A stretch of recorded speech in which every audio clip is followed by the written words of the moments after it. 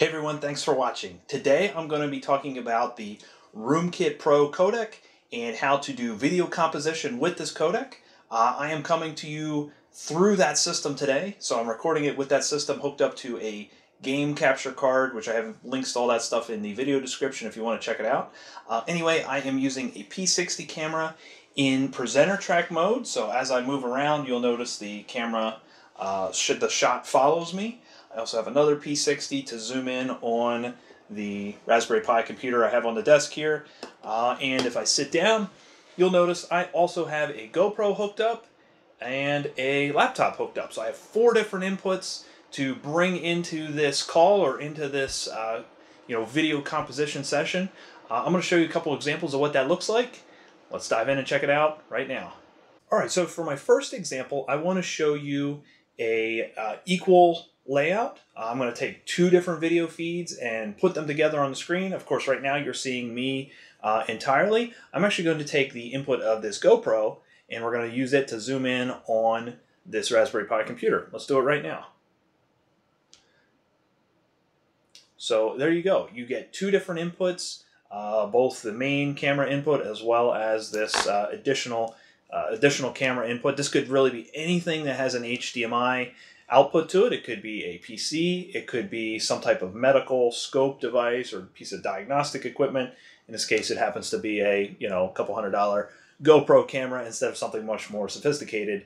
But uh, you should you get the idea.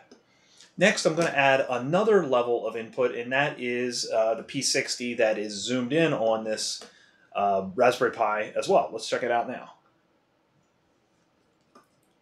So there you see it. I have uh, both views available. Uh, you can see the, uh, the subject here from multiple angles. Layout on the screen, it does have black on the bottom where there's some extra space. That extra space will be taken up when I add the fourth input, which is my PC. Let's check that out right now as well.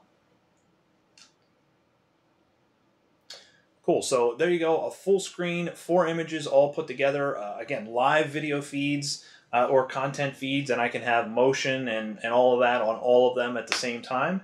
Um, so a great way to take a, uh, a room where you might be doing a demo, or you might have multiple people speaking, or you might have something like that going on, and really enhance that video experience for the folks on the far end who are you know watching and uh, consuming the content consuming the training or consuming the demo of a physical product as i'm kind of doing here Next, let's check out, uh, instead of the equal view, let's check out um, a large primary display with a film strip underneath. Uh, it's relatively easy to change. I'm just going to press the, uh, the button to toggle it on the Touch 10. So there you go. You have me as the primary presenter. You still have all of your other feeds uh, underneath and they are uh, active and, and working. So just a different way to do the layout. Now the, the image that's selected first, uh, at least with this macro, is uh, the primary, right? So the P60 with uh, the view of myself was on first. It's a primary. Second is this view here, the, the GoPro, then the P60, and then the PC input. Obviously with this macro, you could change it and have something else be the primary screen and, and go from there.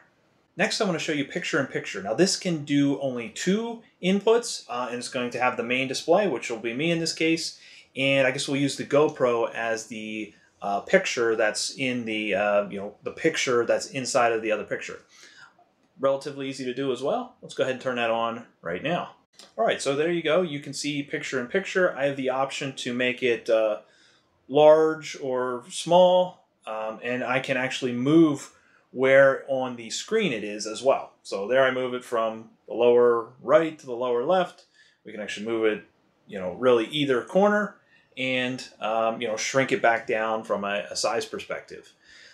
So anyway, I hope that gives you a quick look at some of the options on this endpoint to do video composition. There's a number of different ways you can put all this together. Uh, again, I have a sample macro that gives you a taste of this in the video description. Uh, and of course, you can take that write your own, customize it for your needs uh, in your application, and, uh, and go from there. If you have questions, comments, tips, or tricks, please leave them below in the video comment section. I want to thank you for watching. Hope to see you back sometime soon.